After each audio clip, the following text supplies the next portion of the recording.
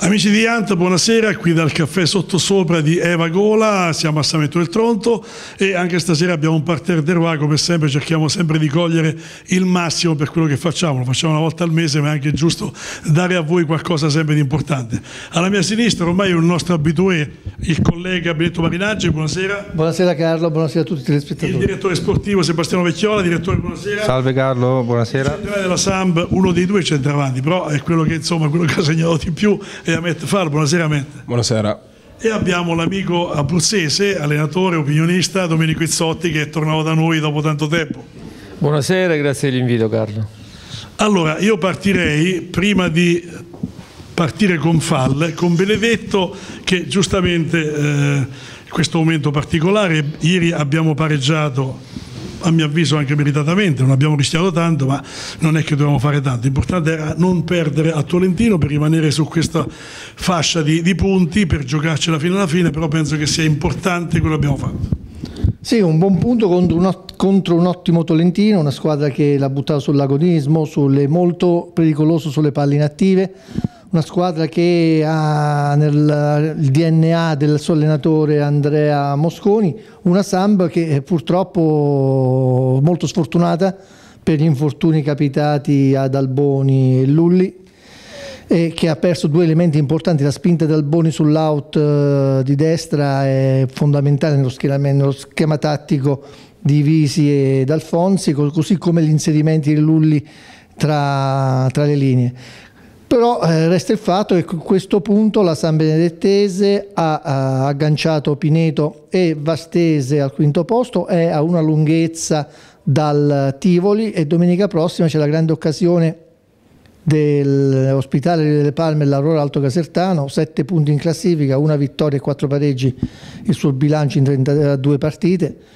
La dice lunga sul valore eh, di questa squadra e di sfruttare anche dei turni di calendario molto interessanti perché la Vastese riceverà il Porto d'Ascoli che a quota 48 può sempre rientrare tra le prime 5 il uh, Tolentino giocherà in, in, casa contro il Pineto mentre eh, l'altra squadra in lotta, cioè la Vastese, il Porto d'Ascoli e la Samb, la Loro Alto Casertano quindi l'occasione anche per accorciare ulteriormente e soprattutto anche sopravanzare eh, il Fiuggi che giocherà in trasferta. Grazie Benedetto, allora passiamo al bomber Amet Fale che dopo aver fatto diversi gol la Fiuggi e tornato a mettere, ormai è diventato Beniamino perché io quando parlo con qualche amico di Amet Fale ormai è diciamo, amico di questa città, si è trovato molto bene e penso che il suo dovere lo faccia ogni domenica. Ma sì sì, io cerco sempre di, come ho sempre detto, di impegnarmi al massimo e sicuramente qua in questa, in questa, città ho trovato, come hai detto tu, un ambiente familiare, ma dappertutto, da, da, tut, da, da tutti gli ambienti in cui frequento, dalla palestra, dei bar in cui vado, dei ristoranti.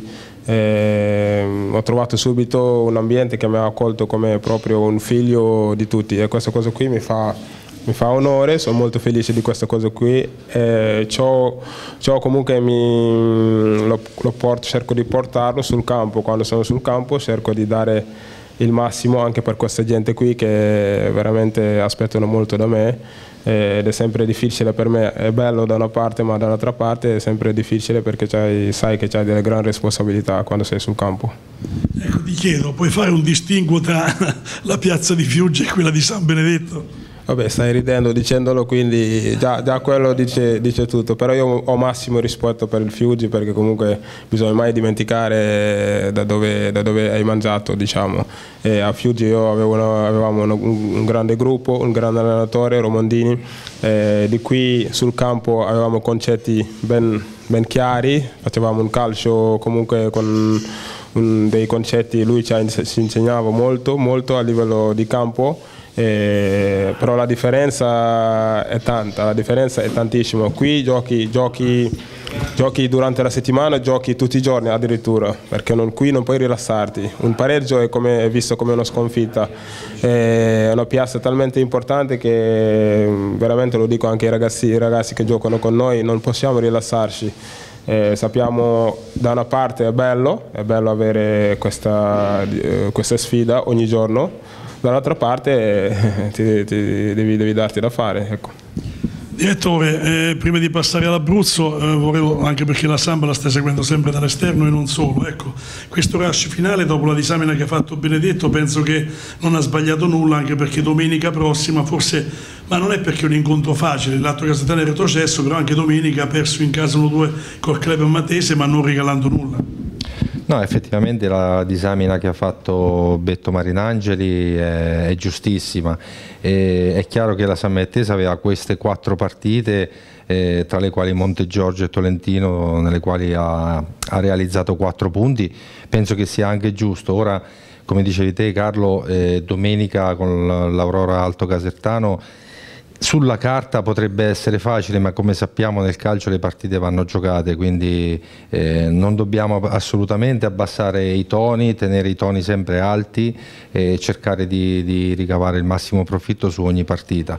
Io credo che la Samettese eh, potrebbe, tra virgolette, giocarsi un posto importante nei playoff con l'ultima partita di campionato con il Pineto e bisogna vedere anche come arriviamo. Siamo consapevoli comunque che ehm, Alboni, eh, non so adesso quale sarà l'entità dell'infortunio, ma non credo che sia una cosa risolvibile a breve, adesso io non voglio fare... No, perché il Presidente ha già detto che rimarrà con la Samp, quindi al di là dei mesi che saranno per l'edizione. Per questo sono molto contento perché è un giocatore che a me piace molto, ha dato molto molto quest'anno eh, in campo, è un giocatore propositivo e adesso come ragazzo io non lo conosco, però penso che sia una persona posata, è un bravo ragazzo ma si vede, si vede dal campo eh, perché dà il massimo eh, ed è un ragazzo sempre corretto, quindi mh, mm, tanto di cappello a questo ragazzo. Grazie direttore. Allora, Domenico Ezzotti, le abruzzesi del CND Girone F quest'anno hanno un po' sofferto, qualcuna sta lottando, come dicevano i precedenti, eh, per i playoff, qualche altra impegnata sotto, però insomma tutto sommato non c'è quella eh, come qualche anno fa insomma l'ammazza campionato, è successo col campo basso, eh, non mi aspettavo il campionato del Castelnuovo così, lo stesso notaresco, però il campionato ancora non è finito. Sì, hai parlato di Castelnuovo e Notaresco, due realtà che conosco molto bene. Diciamo che il Castelnuovo ha avuto una vicenda iniziale molto particolare perché c'è stato un rimpasto societario, eh, sono entrate le persone che poi sono andate via e andando via hanno portato via anche dei ragazzi importanti per questa squadra. E quindi Di Fabio si è trovato alla fine a gestire questa situazione con un gruppo di giovani, anche se faceva parte del vecchio, del vecchio gruppo del Castelnuovo Calcio. E diciamo che adesso gli stanno anche grandi soddisfazioni posizioni, quindi va dato atto a Di Fabio di, che sta facendo un buon lavoro perché non era facile, soprattutto in virtù di questo scombussolamento societario. Perciò quello di Notaresco è una grande sorpresa in negativo, anzi io a questo punto la considererei come una papabile eventualmente a un retrocesso o quantomeno una zona play-out perché è una squadra che ha investito molto, ha grandi giocatori, dimentichiamo Esposito che è un giocatore molto importante, tanto pagato e quando ti trovi là sotto non è facile poi ritornare su. Il Pineto sono anni che investe non riesce mai a raggiungere quell'obiettivo che il Presidente Brocco vorrebbe. È vero, condivido quello che hai detto tu, le nostre abruzzesi non è che abbiano fatto bene, anche perché, ripeto, qualcuna di queste secondo me potrebbe anche ritrovarsi in eccellenza purtroppo. Grazie, ripassiamo da Benedetto. Allora, hai già detto tutto in apertura, però a questo punto è anche tempo di bilanci, mancano due, due domeniche fine campionato, però penso che la Samb da, dopo il giro di Boa sia stata un'altra Samb, la squadra c'è, eh, tutti quelli che sono arrivati, giustamente rimane il rammarico per, questa, eh, per, questo inizio fatto un po' così all'ultimo momento, però purtroppo nel calcio ci sta, non ti regala niente nessuno e come spesso ne parliamo anche con il direttore Bianchini, con altri amici, colleghi, che chi gioca contro la Samb ci mette sempre il doppio della forza per poterci battere. Ma se non vado errato, la Samba ha fatto più punti della Recanatese nel girone di ritorno, non, o uno o due punti in più rispetto alla Recanatese. Questo ti lascia eh, l'amaro in bocca, soprattutto per come si è sviluppata quest'annata, a partire da, da, da aprile, eh, da, un a questa, da un anno a questa parte, fino ad arrivare all'oggi.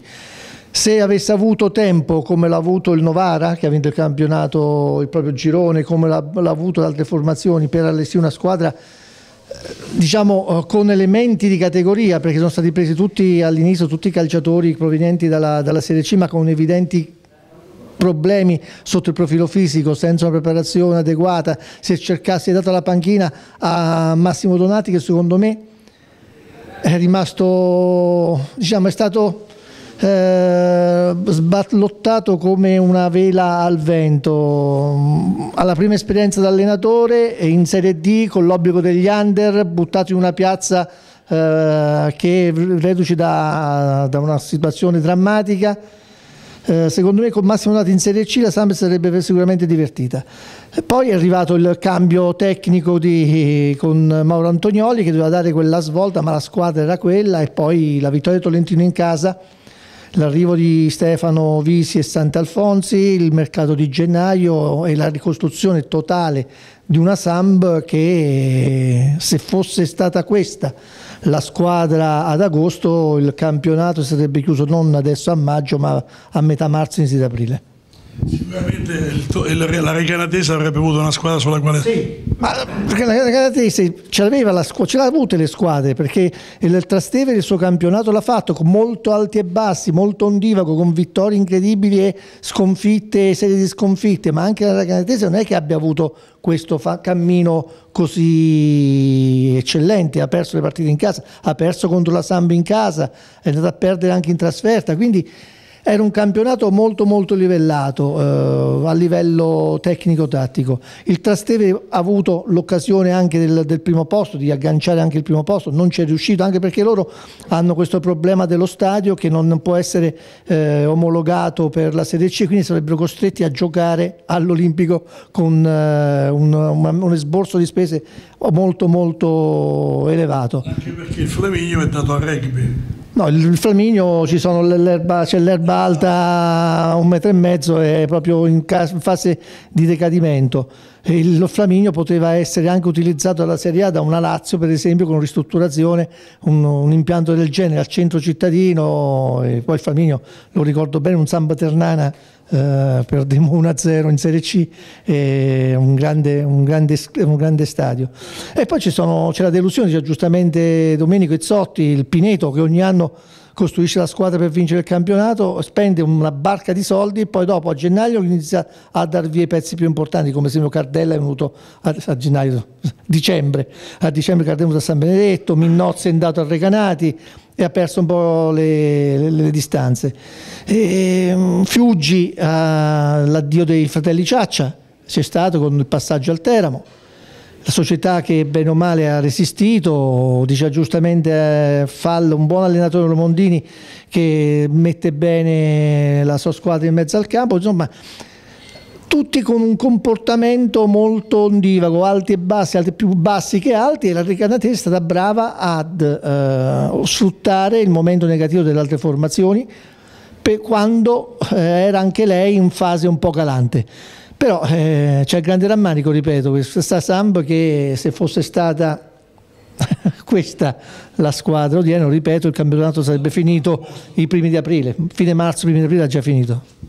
Allora torniamo con Matt Falla a chiedergli questo, dopo tanti allenatori adesso due ragazzi, ragazzi che sono giovanissimi, a questa esperienza che io eh, ricordo quando giocavano il grande portiere Stefano Visi e Santi Alfonsi. Ecco, questa differenza, due ragazzi che cerco di mettere in loro, ma più che altro quello che vi hanno chiesto già all'inizio, se ben ricordo, l'attaccamento alla maglia a questa piazza alla quale loro tengono molto.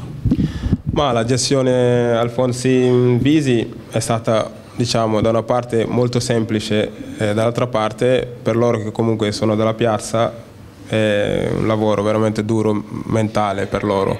E per quello che riguarda noi la gestione è stata semplice. Loro ci sono affidati a noi e noi le abbiamo dato anche abbiamo dato disponibilità su tutto. Stato quindi c'è molto feeling tra i giocatori soprattutto con, con, con Santi. Io un rapporto, diciamo, un buon rapporto perché una persona per bene credo, eh, l'ho conosciuto mm, in pochi mesi, però è una persona veramente di cuore, ecco quello che mi sento di, di, dire. Per quello che riguarda il resto loro ci tengono molto, ci tengono molto ogni domenica soffrono tantissimo, e sicuramente in queste due partite anche dovremo, fare, dovremo cercare di fare il risultato anche per loro che comunque saranno qui tutto l'anno e per il proseguo della, della, loro vita, almeno togliere questa soddisfazione per, per loro.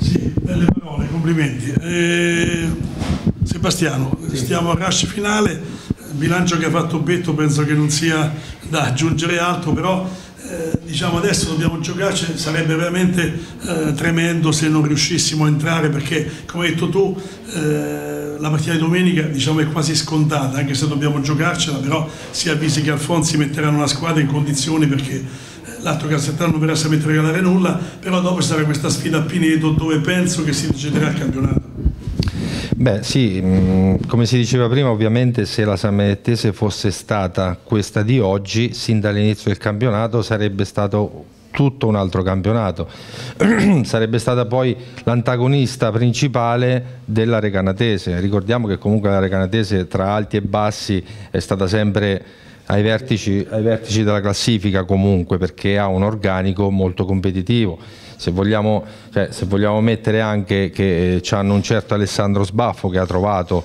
eh, il capocannoniere attuale, che se poi non ci fosse stato lui, che è uno che a mio avviso eh, è fuori categoria perché ha giocato anche in B, insomma è un giocatore di un'altra categoria, eh, la classifica cannonieri se l'avrebbe potuta giocare sia Fall con, eh, attualmente con Guida perché ricordiamo che Fall ha fatto 6, gol al Fiuggi e 8, e 8 9, 9 qui, quindi sono 15 gol. Quindi eh, Cardella ne ha fatti 10 mi sembra. Quindi voglio dire, questo a partire 12, 11. 11. Eh, mi manca un gol a te e un gol a lui, vabbè dai. mi, tengo basso, mi, te, mi tengo basso per stimolarli le domeniche prossime, dai.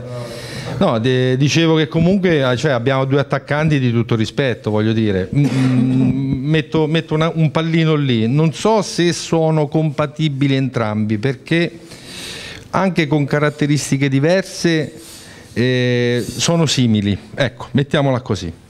Però mh, mm, fatto sta che comunque... Quando giochi con due attaccanti di peso e la difesa avversaria sem ha sempre problemi perché se marchi l'altro Certo, uno dei due deve lasciare lì spazio, quindi no.